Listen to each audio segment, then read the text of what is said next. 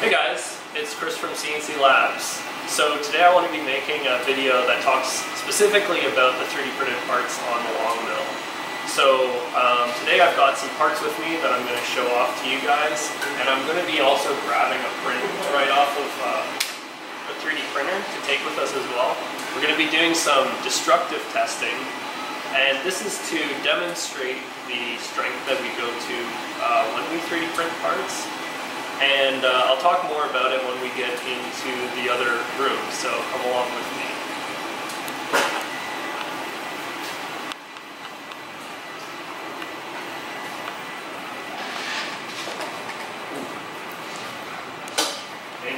Really hard.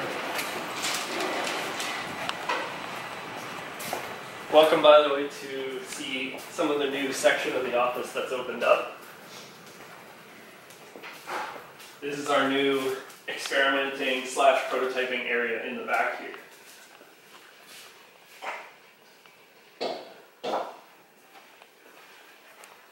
Actually, I'll take you over to the machine first.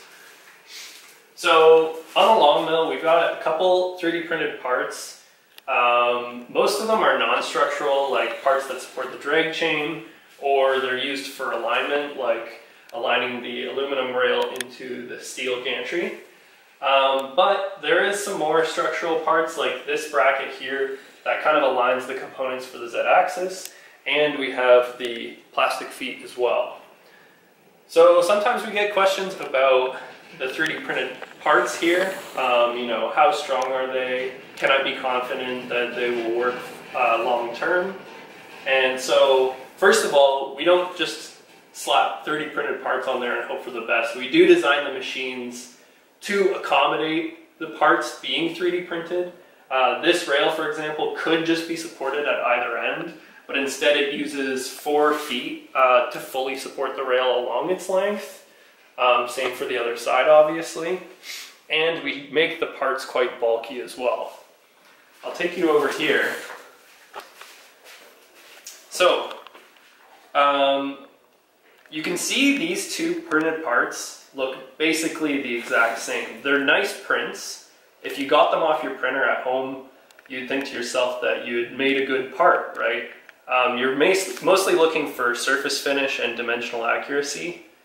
We print these out of PLA Plus, by the way, but I've actually labeled these, uh, one as being good and one as being bad. And the bad one is essentially, as soon as we designed the part, we used stock settings and printed it, and this is the part that came out.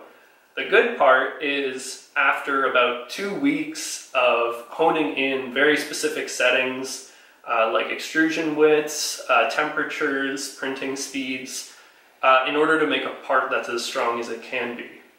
So I'm first going to demonstrate to you the difference, even though these look the exact same, and this could be on your printer or on your machine just as much as this could. If you're getting it from another manufacturer, we spend the time to make sure these parts are solid.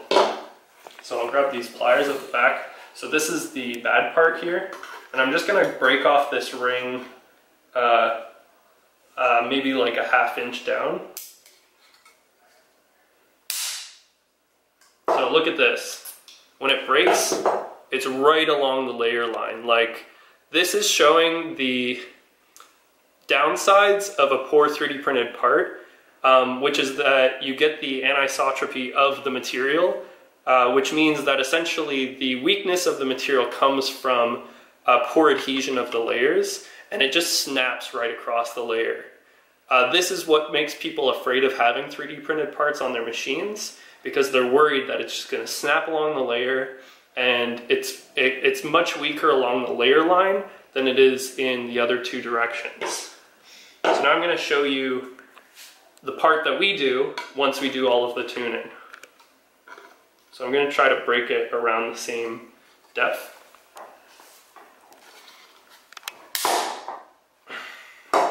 So you can see that took a bit more effort and you can also see that it's now, uh, rather than break, breaking along the same line, it's shearing across multiple lines. I don't know if you can see that there, but that's a better demonstration of how um, the material behaves more uh, isotropically.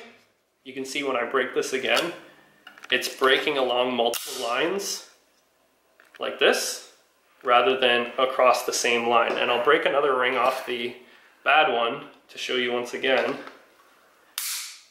That just snaps across one line. So it's important to do these tunings because even, especially on a thin part like this, this is where a hose fits over the taper. Um, there's such little cross-sectional area for the plastic part. You want to ensure that this is going to last for a longer period of time. And so the layer strength is a must. Um, obviously, this is the most breakable part of the, of the piece, but we design the pieces to generally have a large cross-sectional area where we can. I'll try to give you a demonstration of, this is still the good print here, this is the honed print. I'll try to clamp onto the arm here and see how much force it takes to actually break this arm off.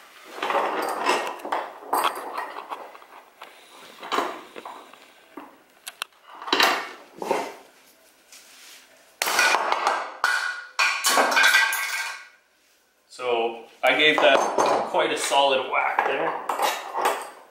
And you can see another demonstration here of how the part breaks along multiple layers. Let's see if I can get another break further down.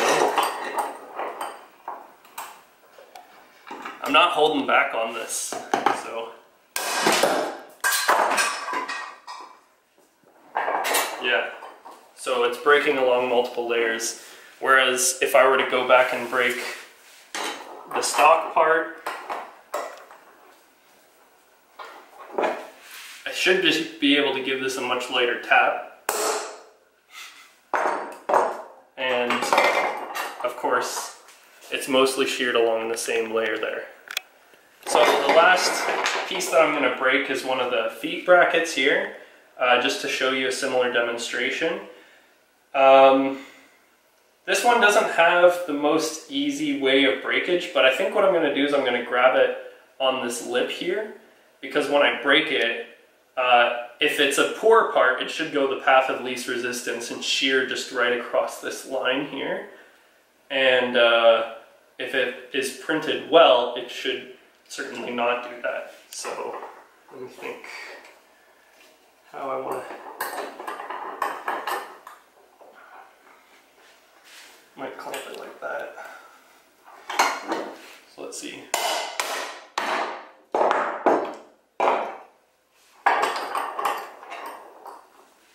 So that's shearing more along multiple layers there. Let's see if I can maybe break it along this line here.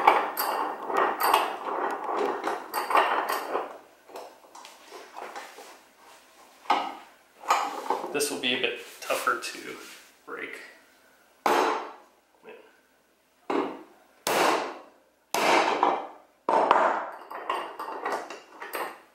Actually, I'm just going to go for a, a, crosswise break here. Even though it's not going to demonstrate the lines, I think it should do a good demonstration of the strength of the part.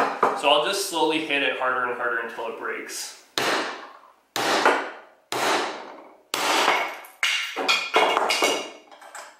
There we go.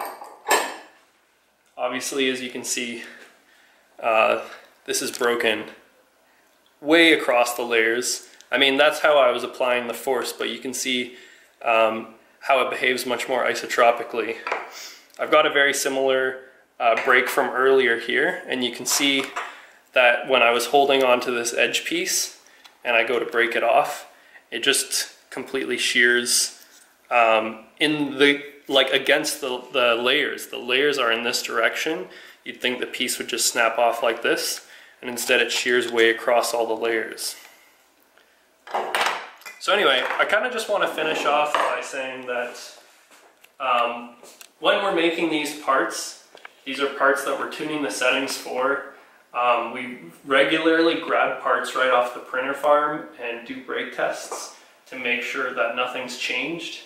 You can have small variations just even in the office environment that might cause the parts to be weaker than you expect them to be.